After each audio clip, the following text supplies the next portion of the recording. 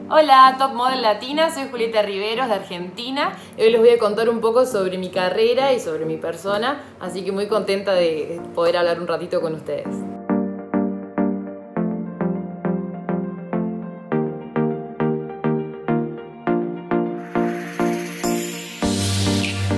Yo soy Argentina, de Córdoba, que es una provincia que está al centro del país.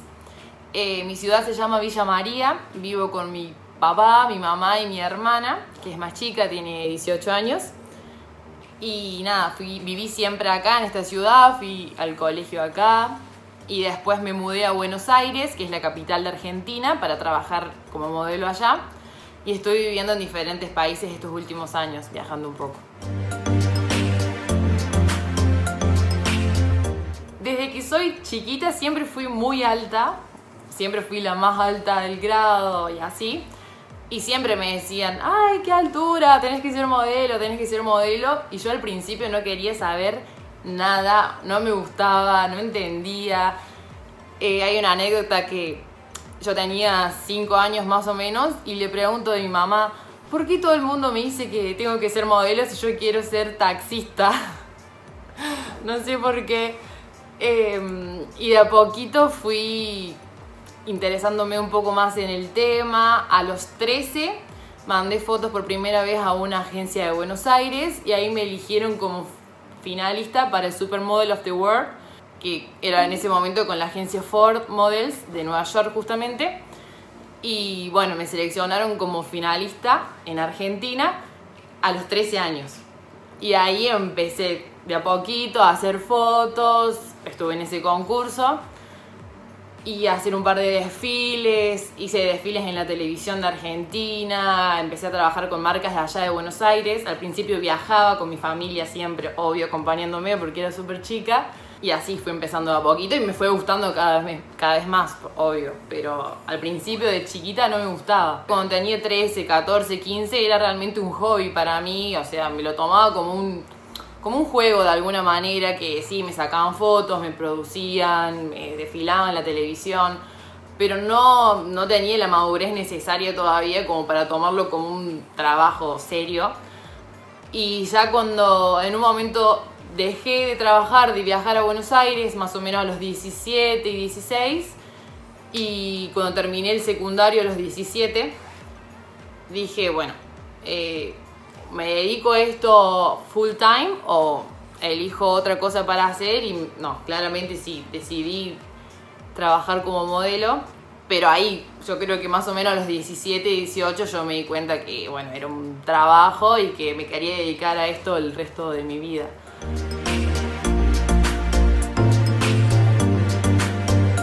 Bueno, un día normal, lo que me gusta de mi carrera es que no es rutinario, o sea, todos los días son diferentes porque, bueno, los trabajos van variando, desfiles, fotos, diferentes horarios, diferentes lugares, no es que es algo fijo de todos los días en el mismo lugar, a la misma hora.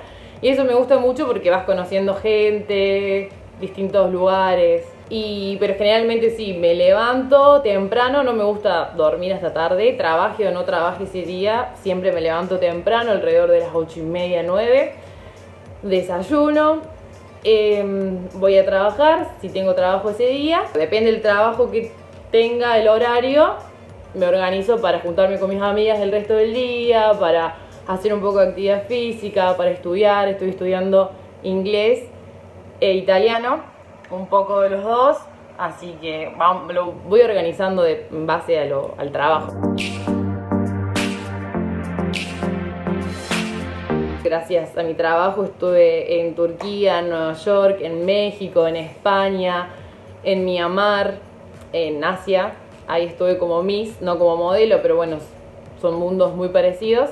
Y eso es lo que más me gusta, el poder viajar y conocer gente diferente y, y lugares distintos.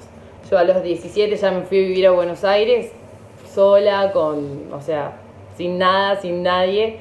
Y eso fue una de, de las cosas más difíciles y en cuanto a la carrera, eh, sí, quizás tenés que estar muy preparada para tantos no que, y tantas piedras que se te cruzan en el camino. Siempre es una carrera que generalmente tenés más no que sí. Y bueno, hay que aprender a, a vivir con eso y tratar de llevarlo y tomarlo no personal, digamos, no es algo personal contra tu persona, sino que quizás las agencias o las marcas están buscando un perfil diferente, no es nada que sea contra tuyo, digamos. A veces me pongo a pensar y no puedo creer, yo tengo 22, todos los países que conocí, todas las experiencias que viví, realmente sí, me hace muy, muy feliz y no me arrepiento para nada haber elegido eh, esta carrera.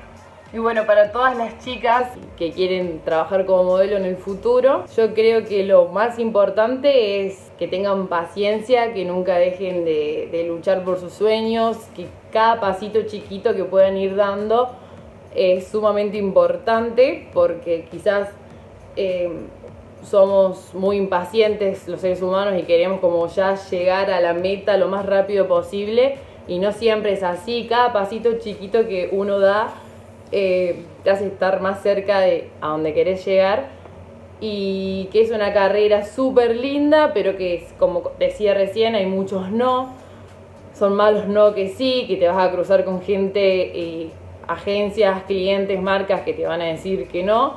Todas las chicas que quieren ser modelos seguro van a poder serlo porque por suerte ahora cambió un montón. Antes quizás el estereotipo era así, la la altura súper alta o súper flaca y ahora hay un montón de marcas, un montón de perfiles, un montón de estilos y con las redes sociales y con todo seguro van a poder llegar a, hacer lo que quieren ser. La verdad que muy contenta de haber podido hablar con ustedes y gracias, un beso muy grande para todos desde Argentina, desde Villa María, Córdoba, así que gracias, un beso grande.